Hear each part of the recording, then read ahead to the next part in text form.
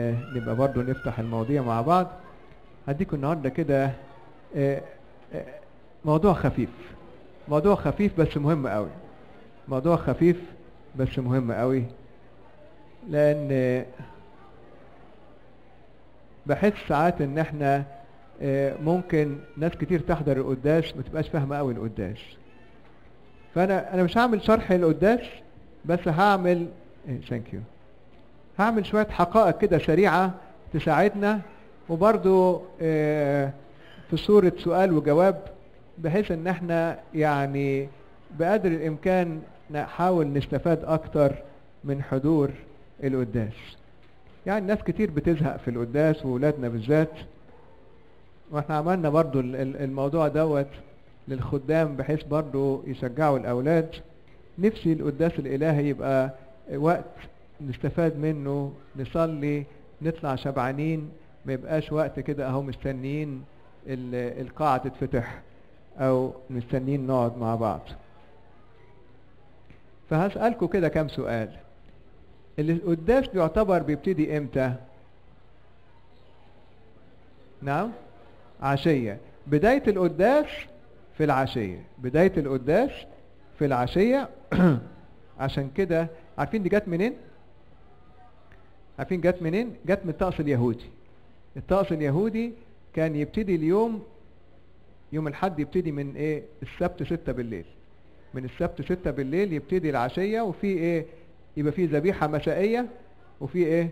ذبيحة صباحية. عشية وإيه؟ وباكر. بس إحنا طبعا إيه؟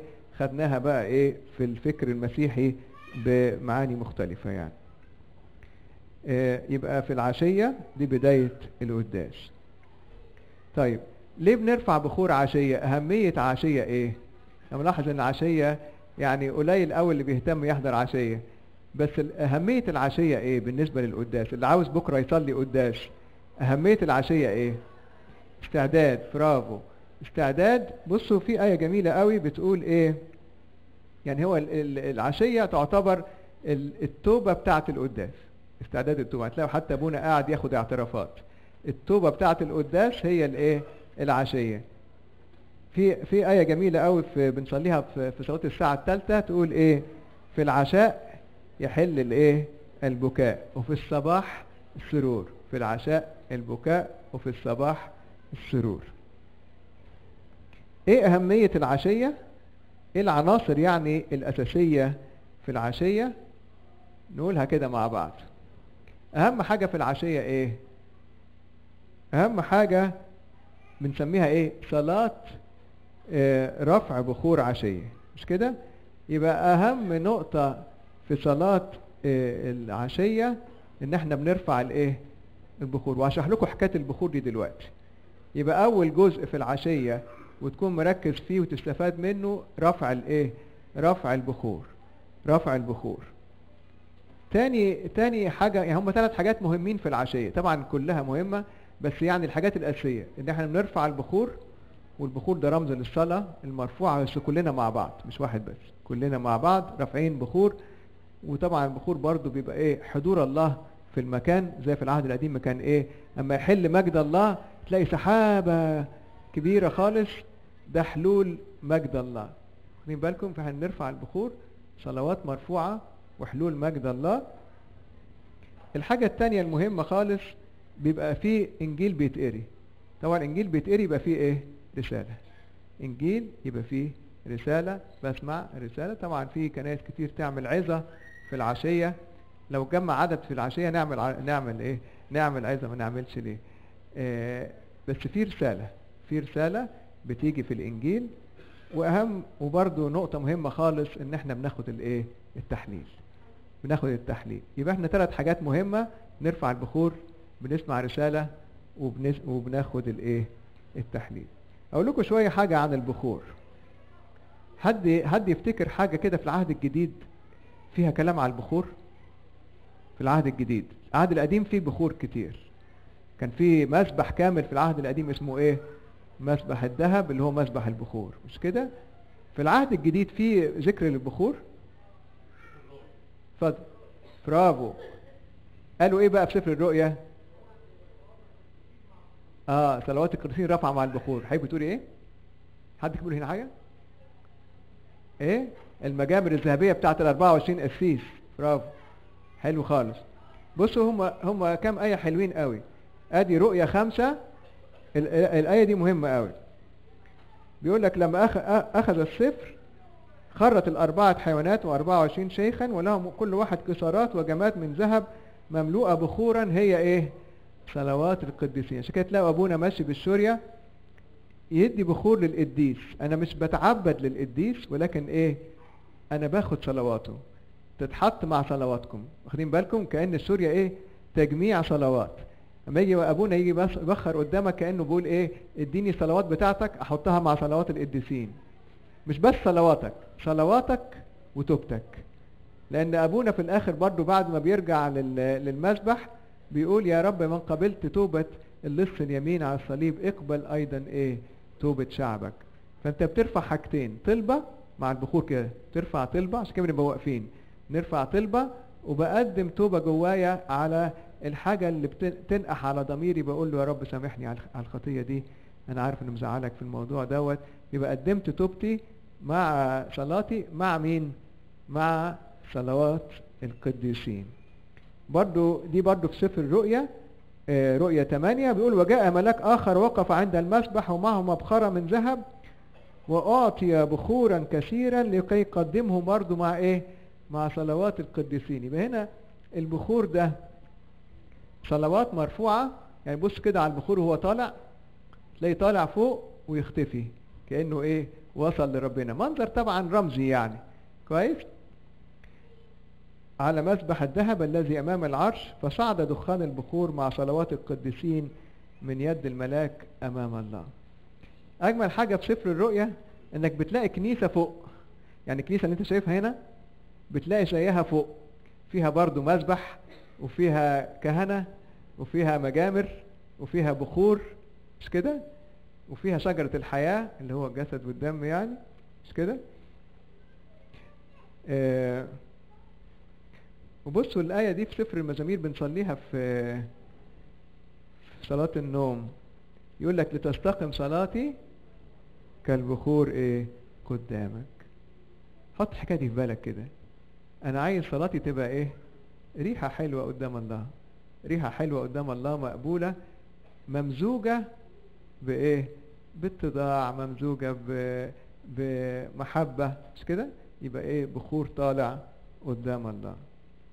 وليكن رفع يدي كذبيحة مسائية. هقول لكم الصلوة دي يمكن أنتم ما بتسمعوهاش بس مهم إنكم تعرفوها. دي بيصليها أبونا سرا. زمان كانت تتصلى جهرا بس يعني مع تطور الطقس بقت تتصلى سرا. بس مهمة جدا إن إحنا نفهم البخور ده ليه بنقول عشية يعني رفع بخور ودي حاجة مهمة؟ شوف هنا الصلوة دي جميلة قوي. يقول ده في عشية. أيها المسيح إلهنا العظيم المخوف الحقيقي الابن الوحيد وكلمة الله الآب. طيب مسكوب هو اسمك القدوس وفي كل مكان يقدم بخور لاسمك القدوس. وصعيدة طاهرة نسألك يا سيدنا اقبل إليك طلباتنا تستقم أمامك صلاتنا مثل بخور أمين. نأكد إن الصلاة هي الإيه؟ البخور. رفع أيدينا كذبيحة مسائية لأنك أنت هو ذبيحة المساء الحقيقية الذي أصعدت ذاتك من أجل خطايانا على الصليب المكرم كإرادة أبيك الصالح. شوفوا هنا الحتة دي فيها إضافة بقى. إضافة إيه؟ صلاتنا بخور دي كان سمعنا عنها. بس إن المسيح نفسه ذبيحة زي البخور. فاهمين؟ يعني المسيح نفسه بيقول إيه؟ أنت الذي أصعدت ذاتك زي ما أصعدت البخور أصعدت ذاتك من أجل خطايانا على الصليب. لسه قربان ما جاش. قربان جاي كمان شوية. فهنا أصعد ذاته ذبيحه عشان كده أما نيجي قدام شوية دلوقتي أما أكلمكم في حاجتين تفتكروها في الشوريه غير الب... غير الصلوات الشورية رمز الحاجتين تانيين. رمز التجسد المسيح ورمز الايه لصلب المسيح. هشرحها لكم كمان شوية. يبقى البخور صلاة ال- الفحماية اللي بتولع دي ها دي تجسد وال... ونفس الموضوع كله رمز برضو لصليب المسيح هنيجي ليها كمان شوية. طيب نكمل ال- آه، الأسئلة بتاعتنا. بعد العشية في إيه؟ تسبيحة. بعد العشية في تسبيحة. إيه بقى قيمة التسبيحة ديت؟ ليه بنصلي التسبيحة قبل القداس؟ قبل كل قداس في عشية وتسبيحة وباكر وبعد كده القداس. ليه ده كله؟ إيه قيمة التسبيحة؟ حد عنده فكرة إيه قيمة التسبيحة؟ ليه بنصلي التسبيحة؟ طبعا قليل قوي بيحضروا التسبيحة. لو عرفنا قيمتها يمكن نهتم شوية أكتر. إيه قيمة التسبيحة؟ طرد للشياطين؟ لا هي يمكن لا يمكن المعنى مختلف شوية. نعم؟ لغة السمائيين بصوا إحنا بنبتدي صلاة بنبتدي تسبيحة نص الليل بإيه؟ بصلاة نص الليل. بصوا بقى. يبقى التسبيحة دي عبارة عن السهر للصلاة في استقبال الايه؟ العريس. إحنا العريس جاي القداس جاي ها الصبح باكر فاحنا إيه؟ بن- بنسهر نسبح في استعداد قبول العريس. واخدين بالكم؟ وكلها تسابيح موجودة من إيه؟ متاخدة من الكتاب المقدس. موضوعها الأساسي حاجتين التجسد والفداء. التجسد والفداء. دي الايه التسبيحة عبارة عن كده. يعني يمكن النهاردة في التوزيع سمعتم حتة من التسبيحة اللي هي الهوس الأول أما بيتكلم على عبور البحر الأحمر وكده هوت. وهتلاقي جزء من التسبيحة بيتكلم على الفتية الثلاثة في أتون النار وبيتكلم عن العذراء إن هي سأوتوكية سأوتوكوس إن هي والدة الإله والتجسد وكده هوت. فإحنا هنا التسبيحة هي عبارة عن سهرتنا لاستقبال العريس سهرتنا لاستقبال العريس. طيب خلصنا العشية روحنا الصبح في إيه؟ في باكر. لا قبل قبل القداس في باكر. رفع بخور باكر.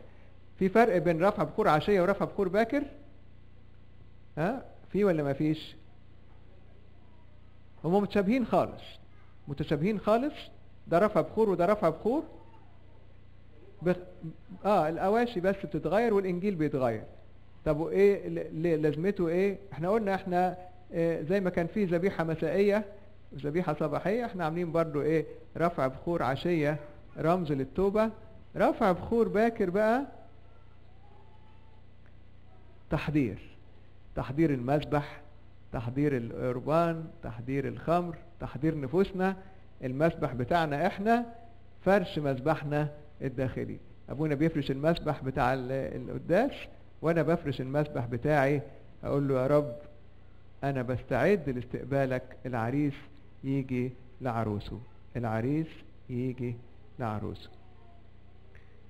طبعا آه، برضو في رسالة في الإنجيل زي ما سمعنا في في عشية بس إنجيل إنجيل باكر غير إنجيل العشية. قربان بيتخبز فين؟ مش في المطبخ. في بيت لحم. بيت لحم. ليه سموها بيت لحم؟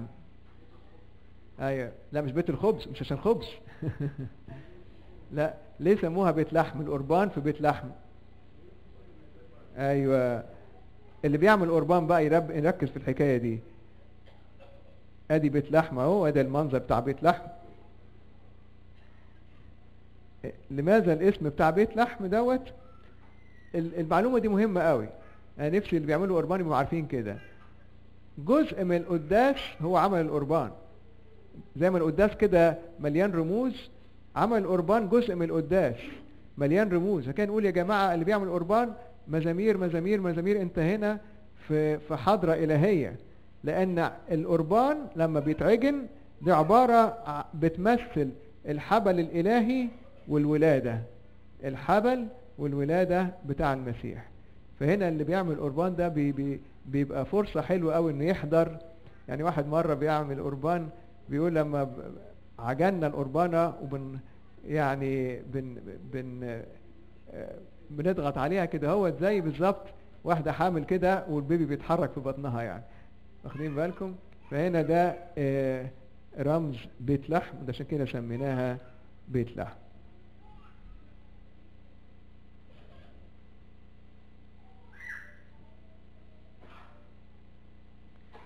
طيب نيجي لتقديم الحمل. خلصنا باكر ومعانا القربان دلوقتي وصلينا المزامير وهنبتدي نقدم الحمل. مع تقديم الحمل الشعب بيقول إيه؟ كرياليسون. المفروض الطلبة الداخلية جوه قلبي بقى تكون إيه ساعة تقديم الحمل؟ نعم؟ كل الطلبات بقى. ده الوقت بتاع الطلبات.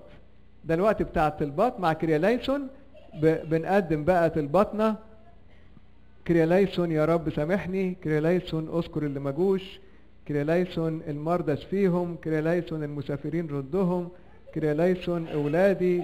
كرياليسون حد ياخد الأولاد يا جماعة؟ حد ياخد الأولاد. كرياليسون إيه، كل الطلبات بتاعتك واللي طلبوا إلينا أن نذكرهم وهكذا. كويس؟ بن- بنقدم القربان وأبونا وأبونا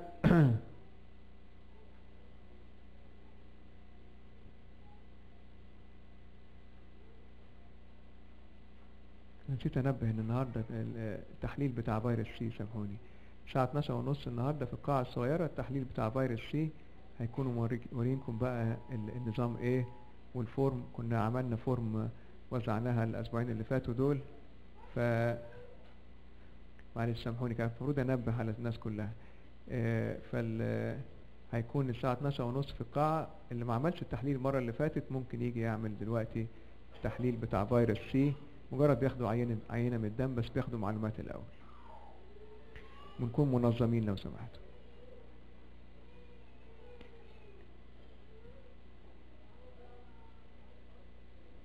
آه، اختار أبونا الحمل وخده وعمده وكلكم عارفين موضوع القربان وال... والدايرة بتاعه القربان والصليب وال12 صليب وكل الكلام ده والخمس خروم وكل الكلام ده أبونا ياخده على المسبح ويبارك الح... ال... ال... القربان وال... والخمر وكده هوت ويبتدي صلاة الشكر. بعد صلاة الشكر تلاقي أبونا غطى المسبح. بيغطي المسبح ليه؟ رمز الايه قبر. صح. إن ده إيه؟ دفن دفن المسيح. هتلاقي في القداس كده لمحات كتيره من حياة المسيح. لمحات كتيره من حياة المسيح. يعني خلي بالك كده أبونا لما غطى المسبح بال بالابروسفرين الكبير دوت راح حاطط مثلث فوقيه رمز للإيه؟ الختم اللي اتحط إيه؟ على القبر بعد كده. يبقى إحنا آه أول ما تشوف كده ال- ال- المسبح بيتغطى افتكر على طول ده إيه؟ دفن المسيح. دي صلوة حلوة ممكن تصليها ساعتها. وتقول يا رب ادفن خطاياي وضعفاتي في قلب في, في قبرك. ادفن خطاياي في قبرك. بعد كده تلاقي ال- ال- الشمامسة كلهم طلعوا بره وأبونا راح قرأ تحليل يسموه تحليل الخدام. ده غير التحليل بتاع إيه؟ بتاع الاعتراف. تحليل الخدام ده مختلف. عبيدك يا رب هذا اليوم الشمامسة والإكليس وكل الشعب وضعف يكونوا محللين. ها؟ التحليل ده عبارة عن إن حل من فم آه، آه، حل للخدام وللشعب كله من فم الثالوث ومن فم الكنيسة وأبائنا الرسل ها عشان نعلم ونعبد حسب المنهج الأرثوذكسي. كان إحنا بنقول إيه؟ إحنا تبع اثناسيوس النهارده أبونا كان بيتكلم على آه، قديس اثناسيوس كان إحنا بنقول يا جماعة إحنا كلنا هنا تبع اثناسيوس وتبع تعليم اثناسيوس والمفروض محدش فينا ي- يكون بيفكر غير كده وكأن ده تحليل لينا كلنا إن إحنا نتعبد ونعلم حسب المنهج الارثوذكسي السليم. الحتة دي بقى مهمة قوي لأن ممكن ناس كتير ما تعرفهاش. هل في رابطة ما بين قرايات القرايات بتاعة القداس ومربوطة إزاي؟ السنكسار ده دي إجابة سليمة بس ناقصها حتة. السنكسار ده صح. يعني آه، في أيام بيبقى إيه القرايات كلها حوالين السنكسار. طيب دي أيام إيه؟ إيه؟ لا دي أيام وسط الأسبوع. إن وطبعا الأعياد طبعا دي ينطبق عليها طبعا السنكسار بس هي وسط الأسبوع تلاقي القرايات كلها لو مثلا شهيد كل القرايات بتتكلم على الشهادة للمسيح وعلى الجهاد وعلى إن إحنا نحتمل الالمات والأحزان وكده هو. ولو عذراء نقرأ إيه؟ العذراء الحكيمات وكده هو. طب يوم الحد بيبقى موضوع. بيبقى موضوع اللي هو جاي فين محطوط فين؟ في الإنجيل. يبقى يوم الحد القرايات بتدور حوالين موضوع الإنجيل بتاع الحد وفي وسط الأسبوع بتدور حوالين السنكسار. يبقى الحد إنجيل القداس هو المحور ويوم أيام الأسبوع المحور هو سنكسار اليوم. لما تيجي ساعة قراية الإنجيل تلاقي بقى كله واقف والشمعة ولعوه وابونا آه، واقف يدي بخور للإنجيل. ليه بندي أهمية ك- كبيرة لقراية الإنجيل؟ أكتر من بقية القرايات. نعم؟ آه المسيح هو اللي بيتكلم. مش يعني ده كلام المسيح. لما بيقول الحق الحق أقول لكم أو يقول أنا هو الخبز النازل من السماء. مين هنا بيتكلم؟ ده المسيح. فإحنا قاعدين كده بنسمع المسيح نفسه هو اللي بيوعظ هو اللي بيتكلم. فعشان كده بندي أهمية كبيرة قوي للإنجيل و- ونقدم ليه السجود ولو الأسقف موجود يخلع التاج بتاعه والبطرك وكده هوت ده المسيح إيه؟ حاضر وهو اللي بيتكلم. في أواشي كتير في القداس. إيه أهم ثلاث أواشي بيتكرروا في القداس؟ ثلاثة بيتكرروا كتير قوي. السلام والآباء والاجتماعات. السلام والآباء والاجتماعات. أشرح لكم يعني إيه السلام والآباء والاجتماعات. السلام بنطلب من أجل إيه؟ من أجل سلام الكنيسة. عارفين يعني إيه سلام الكنيسة؟ إن الكنيسة ما يحصلش فيها انقسام إن الكنيسة ما يحصلش فيها خصام إن الكنيسة تفضل واحدة إن الكنيسة إيه، نبقى كلنا فكر واحد. ده اسمه سلام الكنيسة. عشان كده من أكتر الحاجات اللي اللي تقلق الكنيسة إن إن يكون شعب منقسم على نفسه. نقول لا ده هنا مفيش سلام في المنطقة دي. واخدين بالكم؟ فبنصلي كتير قوي من أجل سلام الكنيسة. طب والآباء بنصلي من أجل مين؟ ها؟ من أجل البابا ومن أجل الاساقفه ومن أجل الإكليروس. ليه؟ لأن هم الليدرز. ونقول يا رب ارشدهم لأن بالحكمة اللي ربنا اداها لهم بيقودوا الكنيسة كلها. طب والاجتماعات دي عبارة عن إيه؟ بنصلي من أجل إيه؟ الاجتماعات الكنيسة اجتماعنا ده ده اسمه اجتماع. ها؟ القداس يعتبر اجتماع. وبرضه بنصلي من أني من أجل إيه؟ بيوتنا. بيوتنا تكون إيه؟ بيوت صلاة بيوت طهارة بيوت إيه؟ بركه واخدين بالكم؟ ثلاث حاجات مهمين قوي. نفضل في كل شوية في القداس إيه؟ نطلب من أجل السلام ومن أجل الآباء ومن أجل الاجتماعات. آه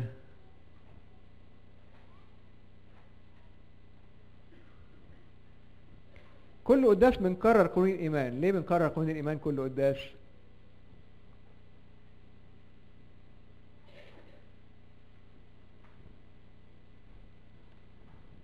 ليه بنكرر قانون الإيمان كل قداس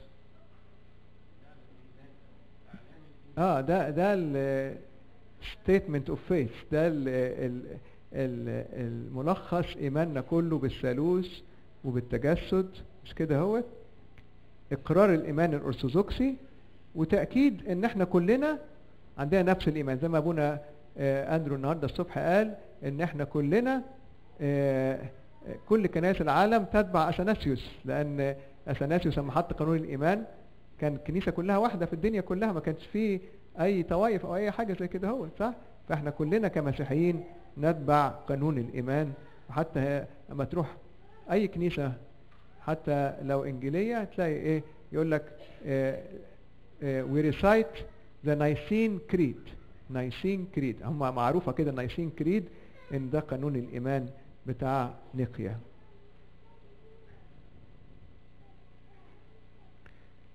بعد كده بعد كل الإمام بنخش في صلاة الإيه؟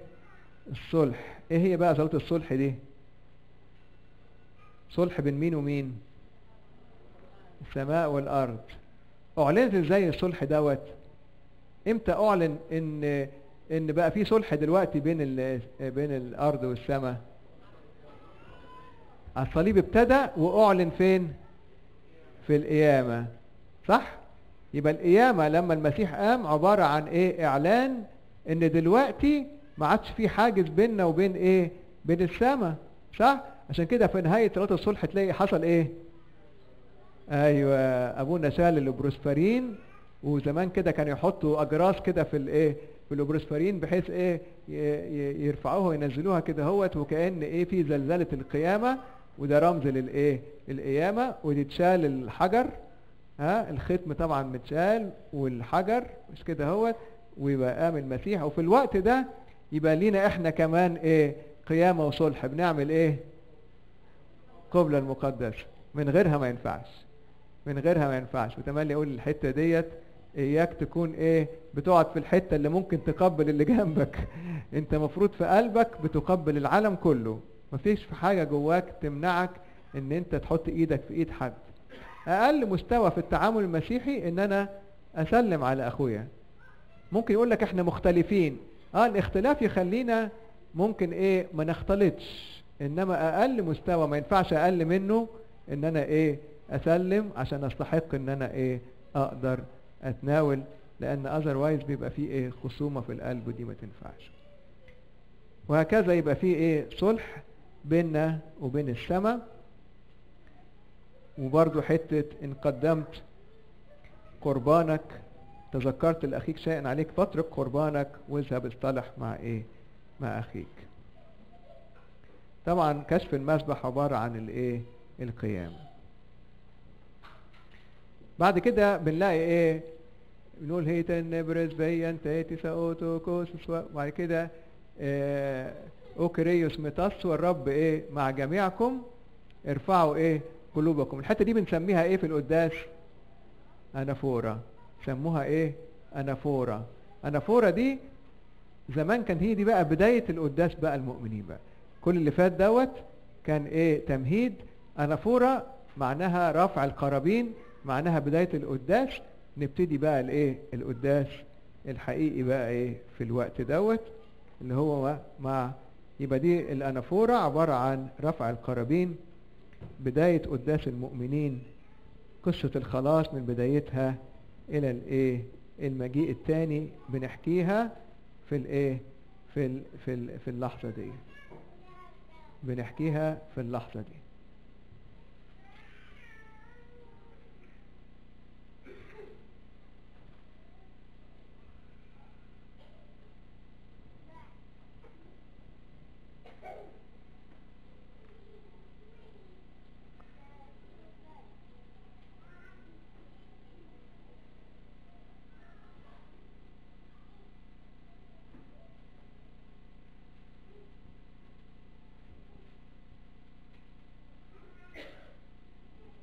الدنيا حر شوية مش كده؟ طلعوا لنا شوية تكييف يبقى كويس. أقدس جزء في القداس فين؟ التناول ها؟ حلول الروح القدس. أقدس جزء في القداس هو إيه؟ حلول الروح القدس. اللي هو الحتة اللي فيها الإيه؟ الرسومات قبليها وبعد كده بنسجد ها؟ وابونا يقول إيه؟ وهذا الخبز يجعله إيه؟ جسدا مقدسا ويروح ساجد ما يقدرش يفضل واقف. حتى ما هم بيسلمونا الطقس يقول إيه؟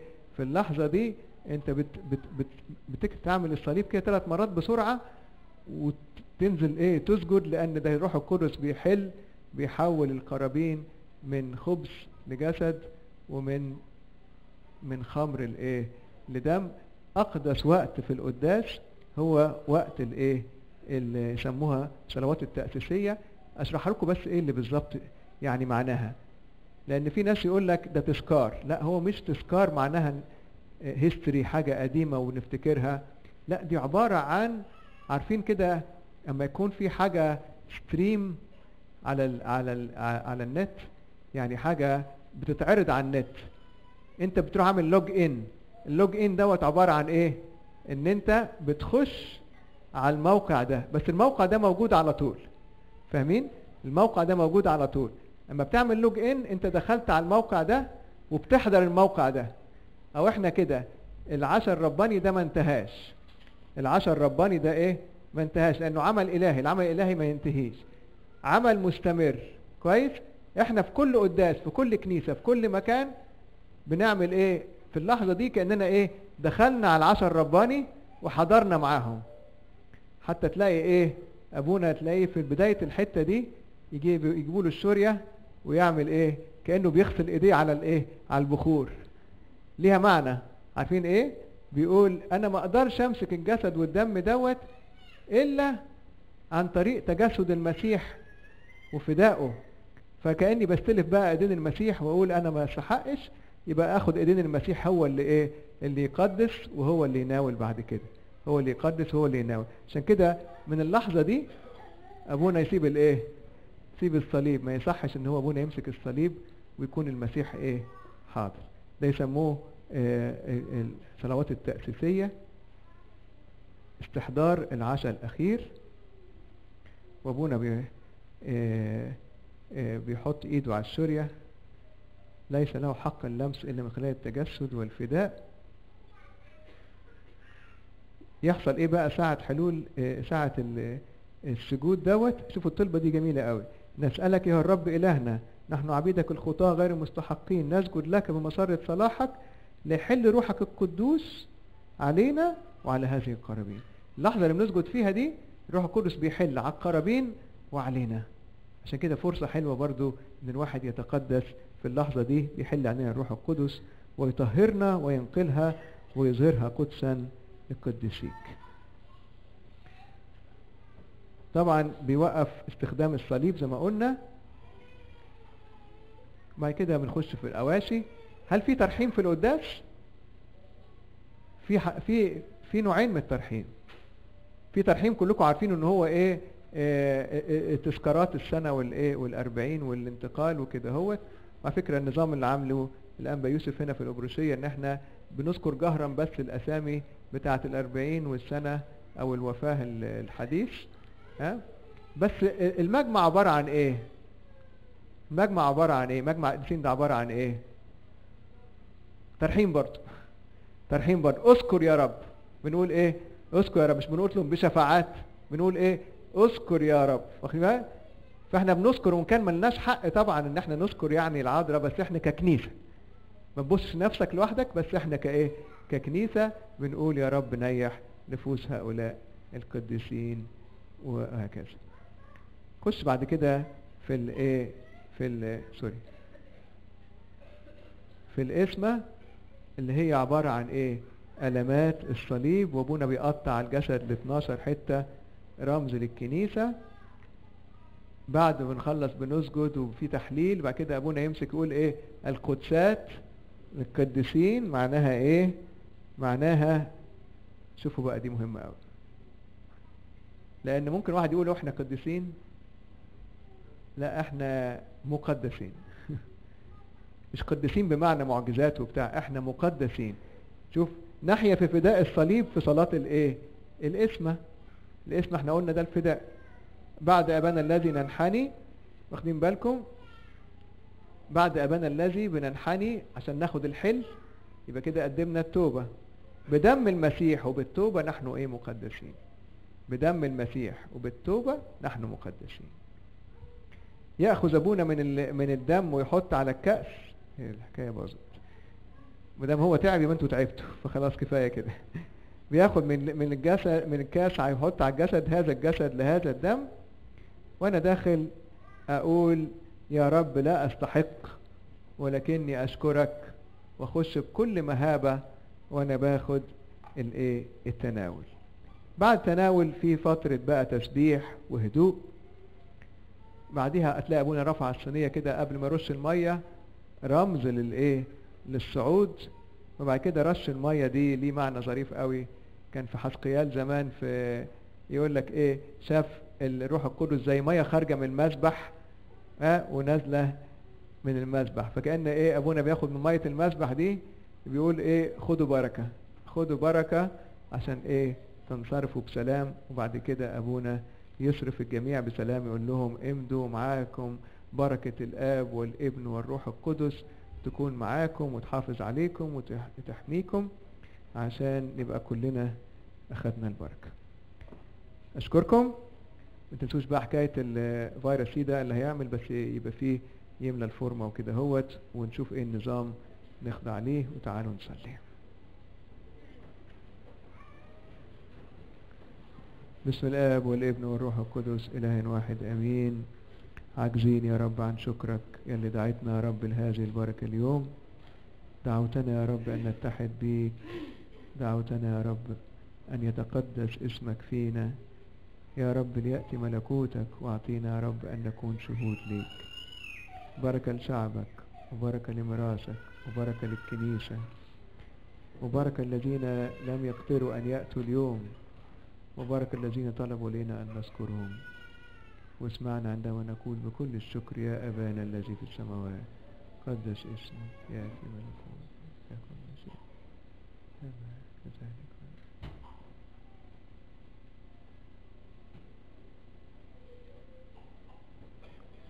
حبة الله الآب